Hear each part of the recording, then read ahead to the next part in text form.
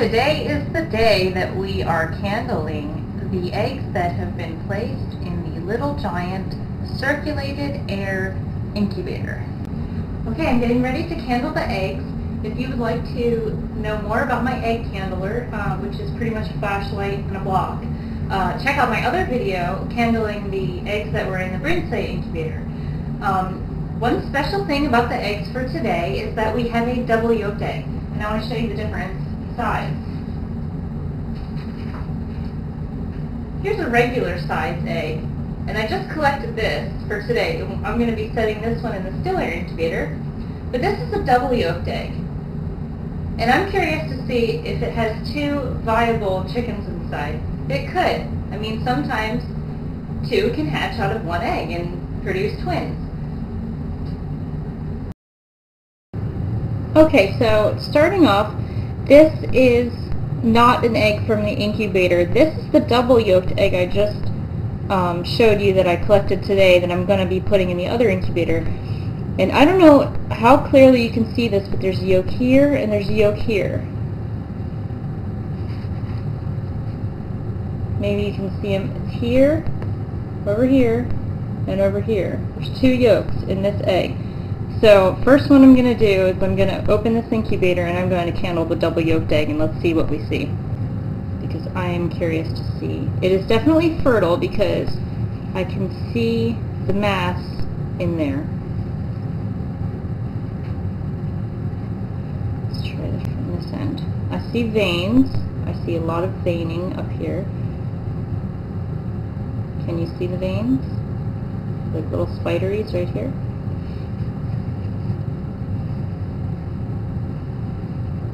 So right now I'm trying to distinguish if there is one baby or two.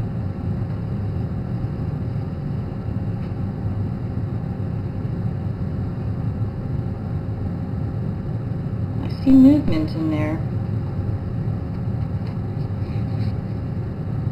But I can't tell. This is my shot to tell. Please excuse me if I'm not exactly in the camera, but okay, I see one right here see one. Um, this is the eye, right here. See if I can find the second one. See if we've got twins or not.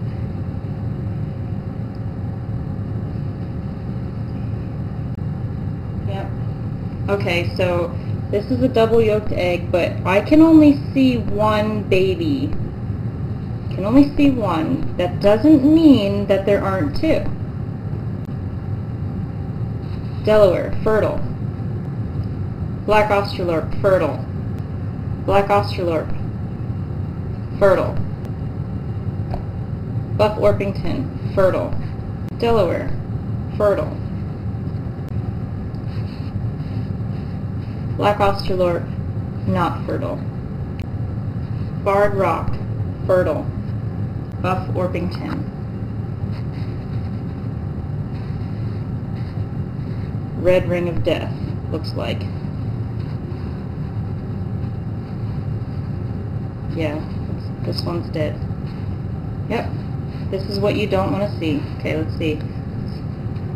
Let's try and get you in close and see what I'm talking about. There is, this is what you don't want to see. This is probably the fault of the incubator. Probably happened from a temperature spike or dip, but there's a line here, this red ring, see it over here too. We'll break this one open.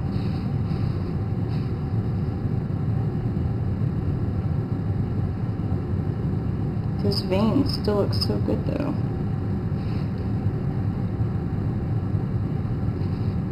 Yep. I'll take a closer look at that one later and make sure. Um, Delaware. Pearl. Oh yeah. Here's a little a little bean in there here. Let's see if I can adjust the focus since I have such a good shot. Okay, so it's the best that my camera can do. You see this little dark spot? That's actually the eye. The eye gets like really big really fast and the rest of the baby seems to grow around the eye. It's kind of strange, but there's the little baby and you can see the little veins. uh, spidering out of the side. That's that's good and what we're supposed to see. Black Australorp, fertile. Buff Orpington, fertile. Delaware, fertile. Buff Orpington. Oh, this is a very porous egg. Now, if I were shipping out eggs, I would candle them first to make sure that they did not look like this. Um, if this egg doesn't hatch, it's not the incubator's fault. So this is a really porous egg. That's usually not ideal for incubating. Eggs that I was collecting for the black Australorps, I had seven hens to one rooster, and that's why they're not all fertile, but now I have two roosters to seven hens. Okay, what do we got here? This is a barred rock that's clear. Alright, so that one's no good. Clear means not fertile. This one is a black Australorp, and it doesn't seem to be fertile either. This is clear. Australorp, fertile. Oh wow, those are really nice veins. Can you see that? Let's try and get it up in there. There's some lines going this way. Some nice veins, nice veining going on. Okay, black Australorp. Here's another porous egg. It's a little porous, but not as much as the last one. Eggs can still hatch from a porous, I mean, chickens can hatch from these eggs, but it's better if they're not that way. Buff Orpington, fertile.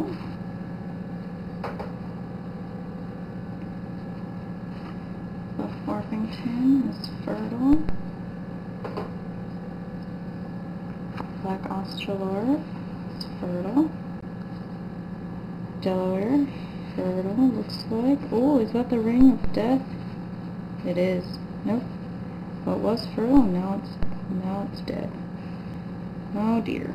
Okay, let's get you in here to see this. It's, uh, it's going right through the middle. All around. All around. This one's, well, my incubator seems to have cooked two of my eggs. And this one is just not fertile. Okay, well here's the incubator. It was full. You can see that I had to remove one, two, three, four, five, six eggs. There they are. Uh, two of them appeared to have a ring of death, and all of the rest are all fertile, viable. I'm just going to randomly move eggs around. This is good for them because of temperature spikes and different areas. So move around randomly game here.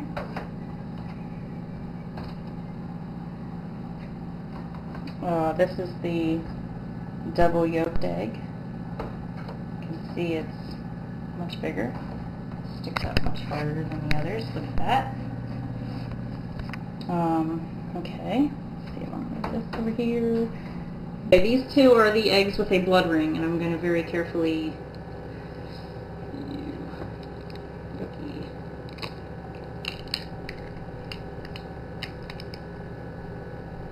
show you this.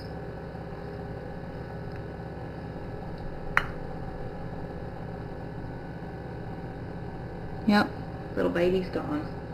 You see the uh, ring?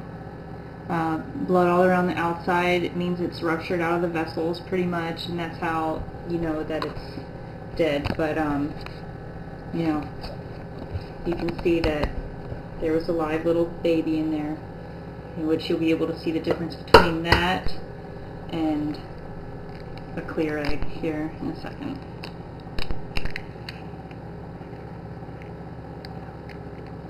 I'm trying not to uh, break yolk. This one is also dead, so um, I correctly identified the dead eggs.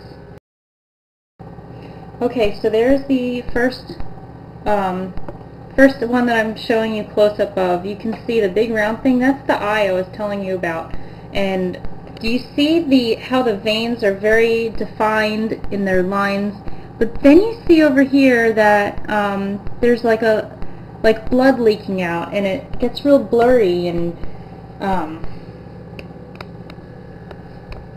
you know, it's just a harder to, uh, you know, it just looks like blood has leaked out. Well, that's what you see when you see the ring of death. Now, over in this one, it was more um, closely resembling an actual ring.